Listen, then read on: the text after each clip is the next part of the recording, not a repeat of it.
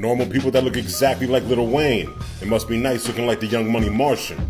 Up first, we got WNBA Weezy looking like she averaged 20 points, 10 assists, and 16 bars. Next up, we got Drive Through Wayne on some Feed Me Rappers or Feed Me a Double Quarter Pounder with Cheese. And here we got Weezy F Baby in the F is for fake chain. Next up, we got Off Brand Weezy, who had this girl convinced that she met the greatest rapper alive and that it was okay to drop the N word when rapping lyrics. Wrong and wrong. And here we have Vacation Wayne, who looks like back when the stimmies hit and everybody was on the first flight to Miami. Replacement Wayne, Birdman and Lil Wayne had a falling out, so he signed Jacquees. And finally, Ancient Artifact Wayne, which is just proof that he's an alien who's been here for centuries.